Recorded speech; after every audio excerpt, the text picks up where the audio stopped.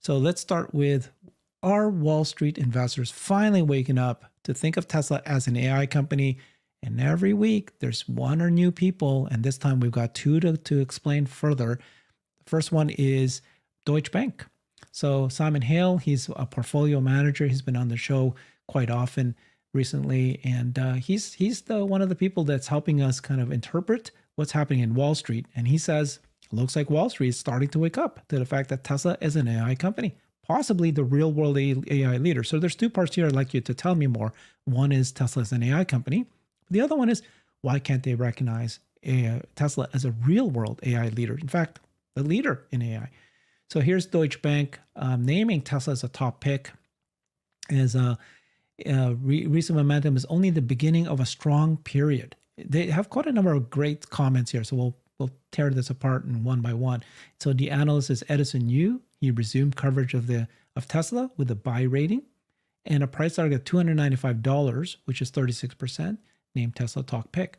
So, first interesting sentence he said is at the core, we do not see Tesla as an automaker, but rather a tech platform attempting to reshape multiple industries, deserving of a unique type of valuation framework.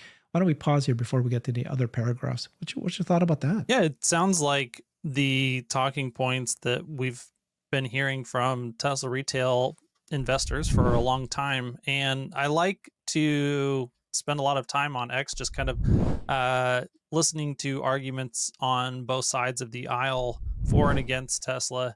And when you do that, and then you watch this coverage by mainstream analysts, then there's almost nothing that they ever say that you haven't heard before. And I think this is obviously a case where you know retail has been ahead of the curve on exploring some of these themes um, but it is good to keep a finger on the pulse of okay when do those arguments really start to actually be main talking points among wall street analysts and you know among fund managers and these types of people um, because that does give you some insight on where the market is headed overall where retail investors may be right maybe they're right far too early and uh, it can take a while for some of those themes to really play out over time.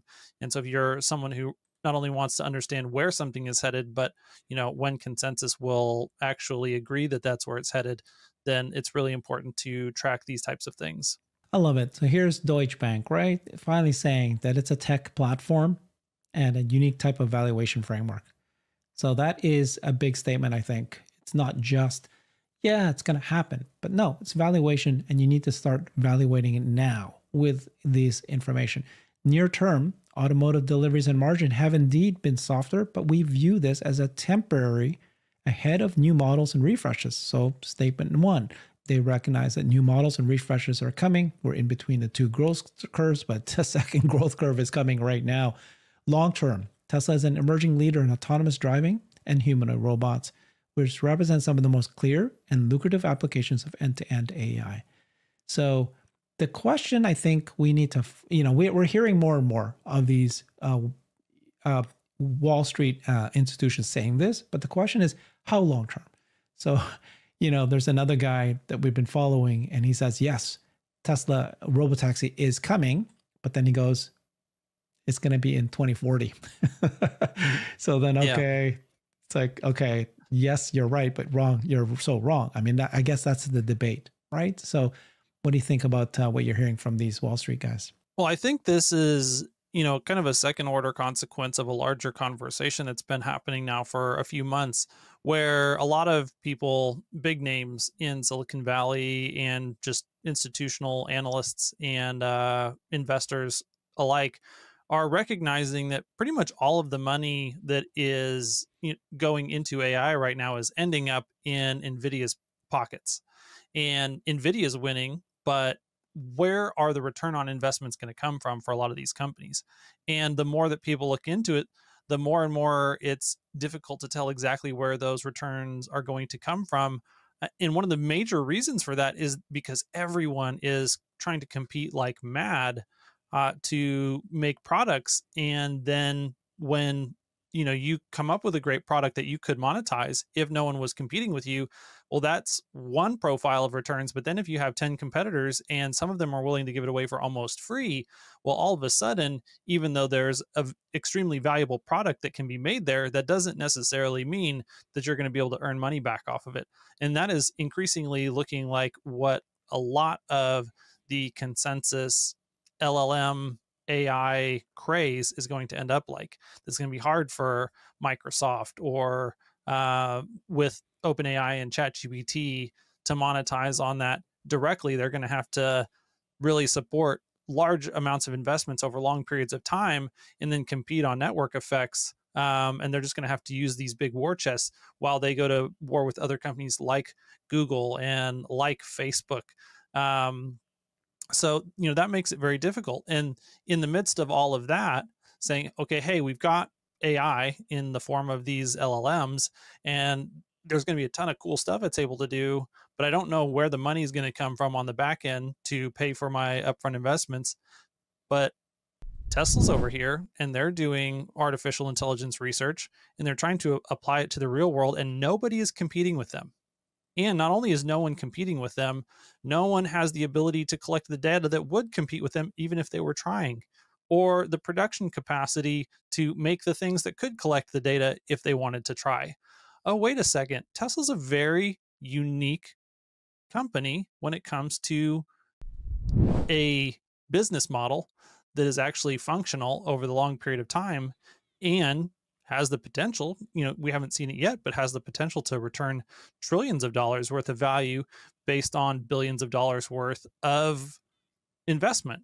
And so I think that the more people are looking at the wider AI landscape and coming to, you know, having a come to Jesus moment essentially on, wow, this is just going to be a bloodbath of super competitive products and services here and Tesla's over there and they're just doing something that's completely different. It's Peter Thiel's classic zero to one. Like they're just competing in a space that no one else is really trying to compete in.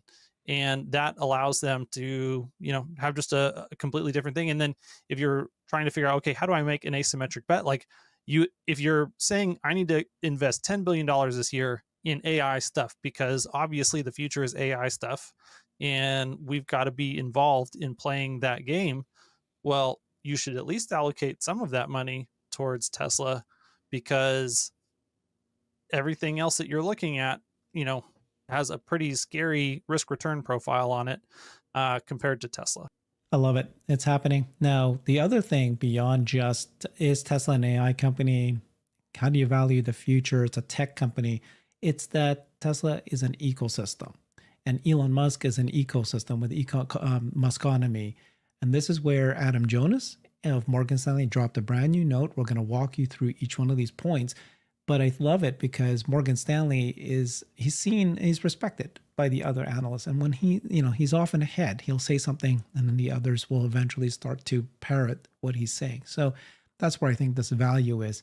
Um, Morgan Stanley's Adam Jonas, we note that the value of Elon Musk non Tesla stakes may be reaching parity, exceeding the value of his Tesla shares.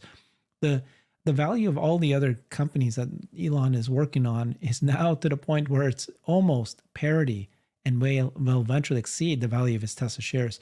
We urge Tesla investors to expand their analysis of the company's operational strategic outlook to include scenarios that may potentially involve Musk's other interests outside the company. So this Muskonomy, this is a standard image that we've seen many times before that Tesla has worked with and it can can um, benefit from X and xAI, Neuralink, Optimus, FSD and batteries, and the Boring Company and SpaceX. They all help each other. You know that uh, technology is happening right as well. We'll talk about xAI and Tesla because they're just yesterday uh, two days ago, there was this article by Wall Street Journal talking about how um, they incorrectly are saying that there's rumors or there's that xAI is going to share revenue. Tesla is going to share revenue for xAI's technology. Uh, before we get there, what's your thoughts about the Muskonomy and this idea that as the other companies are just growing like crazy, how that benefits from Tesla investors? Yeah, I think there's a couple of things in there that are interesting on the on the chart. You know, a number whether it was Optimus or batteries or FSD are all, you know, put on that chart as things. Those are actually things that are inside of Tesla, and then everything else on the list was outside of Tesla. But it is, um, I think, it is somewhat fair even to characterize it that way because I think Tesla really is, you know, a collection of startups that are all working on some really big projects, and FSD batteries and Optimus are all their own kind of big startup ideas that are inside of Tesla but obviously those are something that is owned by Tesla investors. And then SpaceX obviously is the next biggest thing that Elon is doing. And it is a big thing and it is rivaling now the value of his Tesla ownership uh, because he owns, you know, more of his SpaceX thing. And that company is also getting to be very large now. I always see synergies between these things um, because A, you know, there's the old saying that we have in the Tesla community that a lot of this stuff just really has to, you know, can be unified around the theme of how do we colonize Mars?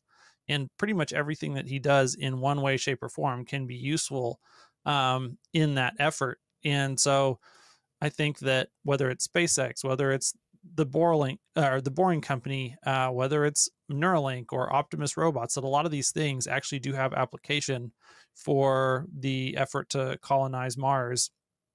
And but because of that kind of shared overarching value, then they have interesting ways that they connect to one another as well. And, you know, whether it's trying to explore intelligence or have a better understanding of human neurology through their research with Neuralink, like a lot of these things really do end up having weird ways that they benefit one another and that you know in those overlapping places you can actually get really interesting learnings that are super valuable in and of themselves because they are combining research in two different areas that ends up uh, being very very um, beneficial you know co-beneficial to one another and if you didn't do this thing over here and this thing over here, you might not see these patterns emerge in both of those places. That then when you put them together, all of a sudden it's like, oh, that just helps you understand the solution to a, a higher problem. Um, and then, yeah, I think it, it's pretty obvious where you do have a number of direct benefits of something like XAI to the Optimus bot or to Tesla whether that's through a you know a voice assistant that's what Siri should be for your car. Um, a lot of those things make a lot of sense, and you don't mm. even have to work very hard. But I think there's going to be a number of other things beyond those direct, you know, no common sense or completely common sense uh, applications where things will just pop up. And you know, we've seen Tesla land itself a number of times over the years, just magically kind of in the right place to take advantage of a big technology shift like Optimus um, that really that opportunity presents itself because Elon has been for a number of years kind of exploring the frontier of technological development in a number of areas. Like, you know, I don't know that we would have gotten FSD or the Optimus robot if he hadn't started OpenAI back in 2014 and had his brain really cranking on some of the challenges that OpenAI was going to face down the road and understanding the application of this new neural net technology that had you know kind of developed in 2012 uh, with the breakthroughs in ImageNet. And so, yeah, I think that all mm. of those things we're just going to continue to see more and more uh, instances of those emergent uh, opportunities that we can take advantage of better than other people because Elon continues to really push the boundaries in so many different areas.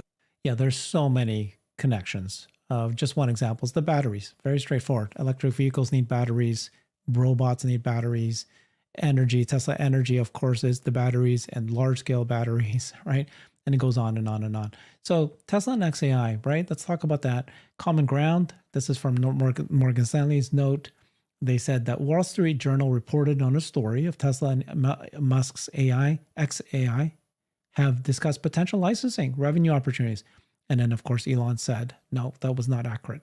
This is actually the actual article written and they were talking about that there's an arrangement where Tesla would get access to XAI's technology in exchange for um, XAI would get some share of the revenue. So that was weird. Elon said, How many fake articles have you seen about Tesla at this point? 100, 1,000, maybe several thousand? Wall Street Journal's talking nonsense. He also said he hasn't read the article, but the above is not, this is before he said that, uh, but the above is not accurate. Tesla's learned a lot from discussions with engineers at XAI that have helped accelerate achieving unsupervised FSD, but there's no need to license anything from XAI. And he talks about the difference between XAI, uh, LLM versus real world video data from Tesla. So that's uh, what his reply is. And then here's some thoughts from Morgan Stanley.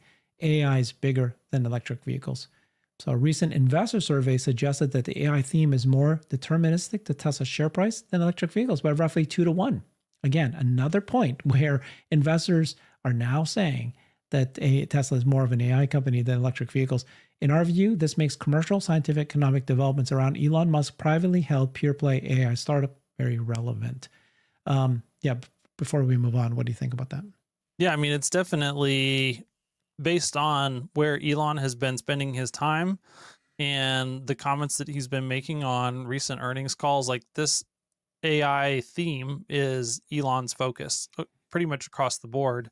Um, and he's been focused on that inside of Tesla now for quite a while as well. And so, you know, the question is if you believe him, then that has to play a larger role in your future projections for what Tesla does as a company than just the autonomous vehicle or not sorry than just the EV technology itself. So um, that is is clearly true, and I think that's you know the the biggest thing that bears versus bulls fight over um, is that bulls are always trying to define Tesla as just purely an automotive company, and that has not been true in the past, and I don't think it's going to be true in the future either.